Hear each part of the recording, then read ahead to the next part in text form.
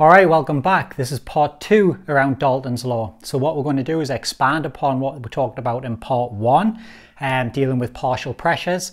What we're going to do this time is talk about um, one more of the physiological effects of breathing gas under pressure. Okay, so get ready and I'll be back in a second.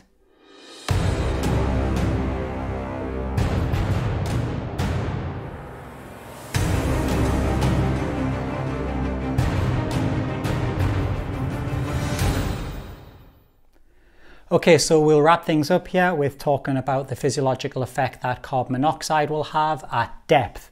So in this example, I've just um, picked an arbitrary gas, which we're just going to use air, um, but the air has a slight contamination of carbon monoxide in it. So we'll assume it's 78% nitrogen, 21% oxygen, and only 1% carbon monoxide. So we'll throw a trace of carbon monoxide in there. Okay, if we inhale this gas and let's just assume that that gas has 500,000 molecules of carbon monoxide with every breath. So we inhale the gas and about 500,000 of those molecules are carbon monoxide. So it's a slight intake of that gas. Um, but we are conditioned to maybe handle that. We can, you know, our respiratory system, our bodies can filter that out without suffering any adverse reaction to it, okay? Um, but if we now consider we take this gas diving, so this could be in your cylinder, and we're now going to take it on a dive, okay? So the pressure at depth is going to change the physiological effect, you know, in accordance with partial pressure.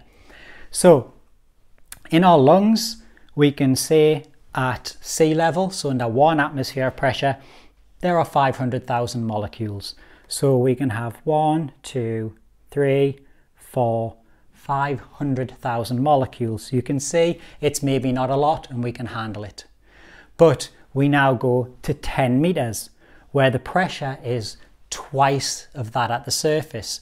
So that means it takes two times as much gas to fill those lungs at 10 meters than what it does at the surface.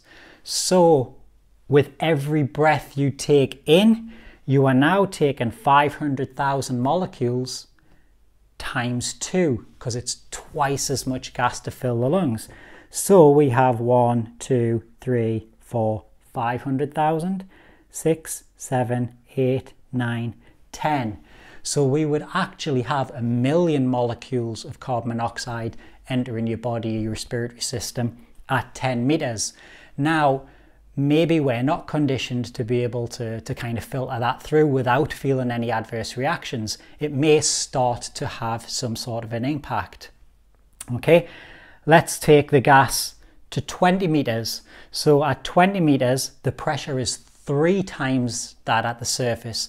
That means with every breath you take in, it's going to take three times as much gas to fill those lungs at 20 meters than what it would at the surface.